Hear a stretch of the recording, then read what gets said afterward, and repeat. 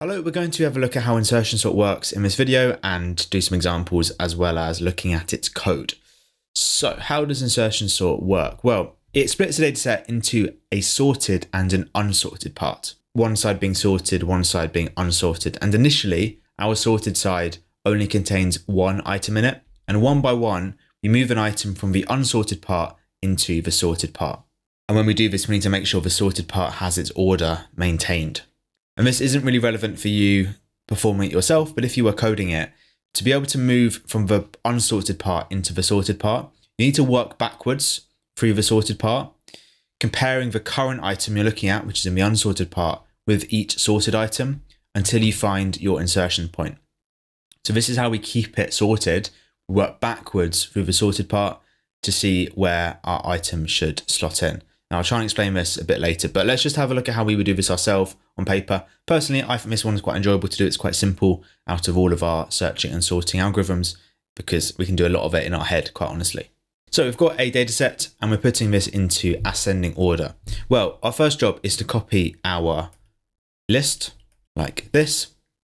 And we are splitting it into a sorted part and an unsorted part. Initially, our sorted part contains one item only and our sorted part is on the left hand side. So our sorted part, I'm going to represent by circling it.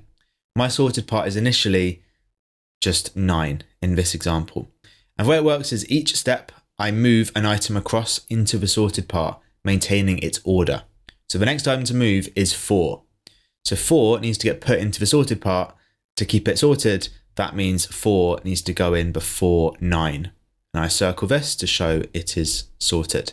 And a bit like bubble sort, I would always recommend just copying the rest of it. It's a bit of time, but it avoids mistakes. Eight is the next item. So let's put eight into our sorted part. And this is where you're sort of doing it in your head, but we can sort of start to picture how the computer might actually do this.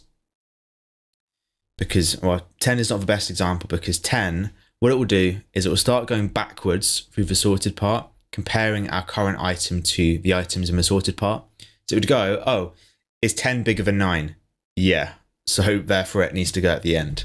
So in that example, it's a pretty quick process because it can immediately see that 10 is bigger than 9. So therefore it goes at the end. 2 is another example at the extreme where we're sort of going right to the other end. This time we're going, is 2 bigger than 10? No. Is it bigger than 9? No. Is it bigger than 8? No. Is it bigger than 4? No. So therefore, because I've got no other items, it must go at the front. I've reached the end of my sorted part. But five, we can look at this one. So with five, I've got to work backwards through my sorted part. If I was doing it in code, is five bigger than 10? No. Is it bigger than nine? No. Is it bigger than eight? No. Is it bigger than four? Yes. So therefore five must slot in between four and eight. So that's what I mean when I say it works backwards through the sorted part. It needs to know where to slot it into so it maintains the order. in terms of us working out and doing our layout, it's not the hardest You've just got to make sure you do just maintain the order in the sorted part. This example here, we've got some words we're putting into reverse alphabetical order. If you get words, it's annoying, first of all, because it's more to copy, but also personally, I find the alphabet, I, I don't always from memory know where each letter is in the alphabet. Whenever I admit this to my classes, they always laugh at me, but I personally couldn't necessarily tell you um, whether O is after T or something like that. I'd have to think about it and almost sing the alphabet in my head. So the advice I would always give my class, which I stand by, is if you ever get a question where you've got to order it alphabetically, especially reverse alphabetically, which is a bit of a headache, I would always write the alphabet out. Okay, I'll edit alphabet where I sang that to myself, but I think that can be helpful. So let's just do the same thing again. I'm going to copy my list out initially and circle the first item. Okay, so I've got my tiny sorted part and I need to move dog into the sorted part. Well, dog I'm doing it in reverse alphabetical order, because D comes after C, therefore dog needs to go before cat. So when we dev words, we do it based on the first letter of our word. And if we end up with it being the same letter like we're going to have with the peas, with possum and parrot, we look at the next letter. So we look at one letter after the other if we need to, but normally the first letter we, we base it off of. So possum needs to get moved into this list. Let me just copy it because again, I want to make sure I'm not going to make a mistake. Possum should now go in first. And zebra goes in first, it shoots right to the start. And then parrot makes it marginally more interesting because I've got two P's at the start. So I don't look at the first letter anymore, I look at the second letter because this parrot is going to go either left or right of possum. Well, A is at the start of the alphabet, obviously. So therefore, parrot goes before O. So really it becomes between possum and dog. Because remember, I'm doing it in reverse alphabetical order here. Okay, and there is my answer for this alphabetical example. Now, how does the code look for insertion sort? It's not terrible, but it's a little bit confusing.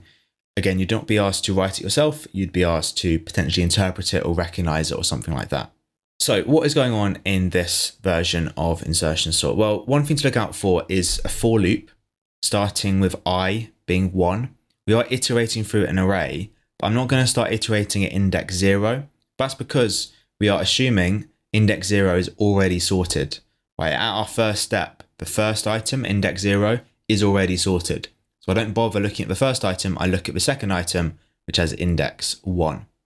So this outer for loop is going through each item in our unsorted part and gradually moving it into our sorted part. This inner while loop is a little bit confusing. Again, like bubble sort, we have nested loops, which means the performance of bubble sort and insertion sort is pretty similar because we have similar sort of structure of our code here. So the inner loop works backwards through the sorted part. You can see the current index is being subtracted by one because we're working backwards through it as we go through. And we keep looping while I'm not at the start of my list and the item to the left is bigger than our current item. So this is how it determines when to insert the item based on the item before it being bigger than it. If it turns out that it is bigger, we are going to swap the items. So we don't have a temp variable here. We, well, to be honest, we could have a temp variable here like bubble sort. What I've done in my version is to essentially keep track of our current item at the top. So I'm saving our current item as current item. It's effectively the equivalent of using temp to make sure when I swap it, I don't lose one of my values. So you can see dataset current index is being swapped with dataset current index minus one. That's us swapping two values if we haven't reached our insertion point yet. When this finishes, we do insert our item at this location. So when I find out where it should slot in, I just insert it once this while loop has finished. So this one a bit more of a headache to understand, I will definitely say. We're looking for it working backwards and we're looking for i starting at one, not zero like we are used to.